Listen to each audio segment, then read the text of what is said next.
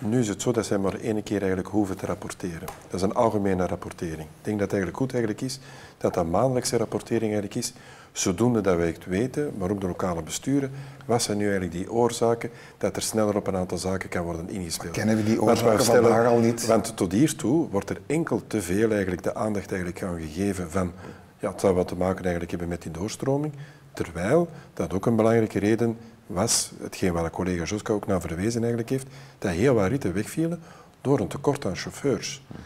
En dat is dan toch wel een heel groot pijnpunt. Een paar minuten je wat later bent, dan kun je over klagen, maar je geraakt nog op je werk of op je school. Maar als je rit volledig eigenlijk wegvalt, dan wordt het echt dat de mensen eigenlijk zeggen van het openbaar vervoer wordt voor mij niet meer betrouwbaar.